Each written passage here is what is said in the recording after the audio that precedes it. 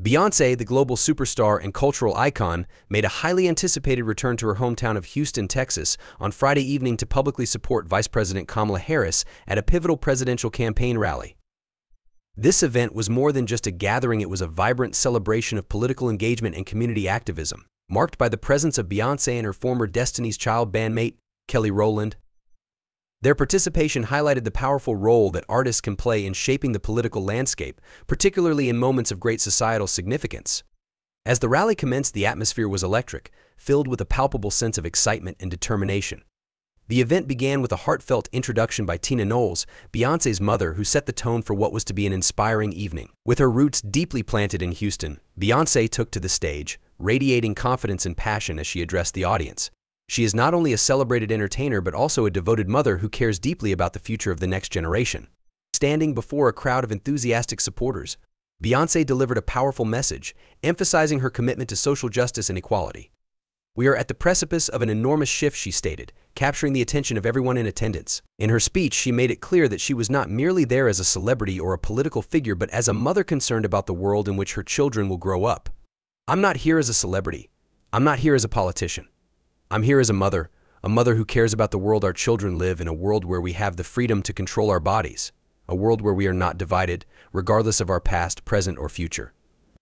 Beyonce's poignant words resonated deeply with her audience, sparking a sense of urgency and unity among those present. She encouraged them to embrace their power as voters, reminding them then that they are all part of something much larger than themselves.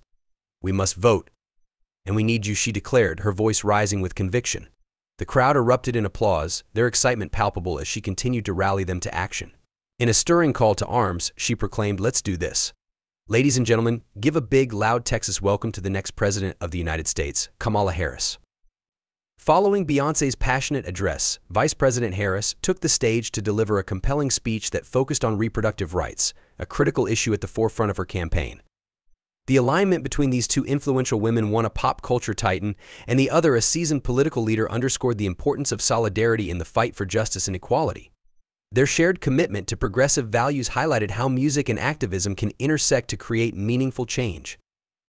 Interestingly, prior to this event, there had been speculation regarding Beyonce's potential performance at the Democratic National Convention in Chicago back in August. Many fans were excited about the possibility of seeing her take the stage to support the Democratic cause. However, her longtime publicist, Yvette Noel Schure, later clarified to The Hollywood Reporter that the 32-time Grammy winner was never scheduled to appear at the convention, deflating rumors of a surprise performance.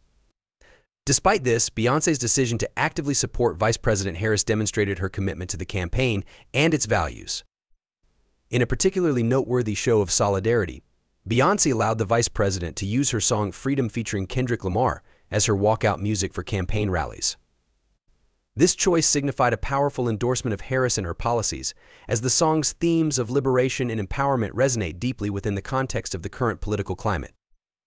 It was reported that Harris' team reached out to Beyonce's representatives to seek approval for the song's usage during her first official visit to the campaign's headquarters in Wilmington, Delaware. Despite her reputation for being selective about allowing her music to be used outside her own ventures, Beyonce granted permission, signaling her strong support for the Democratic presidential nominee. Beyonce's engagement in politics is not a new development. Throughout her career, she has consistently used her platform to advocate for social change and amplify important issues. Back in 2012, she publicly endorsed former President Barack Obama, further solidifying her status as an influential voice in the political arena.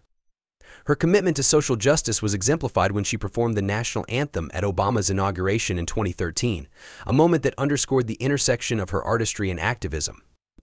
In 2016, Beyonce and her husband, Jay-Z, participated in a star-studded rally for former presidential nominee Hillary Clinton, further demonstrating her dedication to progressive causes. Their presence at the rally drew significant media attention and highlighted the role of celebrity influence in shaping public opinion and mobilizing voters. As the evening progressed, it became evident that Beyonce's support for Harris is rooted in a broader vision for a more equitable and just society. Her call for unity and collective action is a reminder that each individual has a role to play in the democratic process. The urgency of her message, combined with her undeniable star power, serves as an inspiration for many to engage in civic duties and make their voices heard in the upcoming election. In summary, Beyonce's return to Houston to endorse Vice President Kamala Harris was a significant moment in the intersection of music and politics, reflecting her long-standing commitment to social change and the empowerment of marginalized voices. Her powerful address about unity, freedom, and the importance of voting resonated deeply as the nation prepares for a crucial electoral season. Through her actions, Beyonce not only elevates the conversation around critical issues, but also encourages others to recognize the power of their voices and their votes in shaping the future.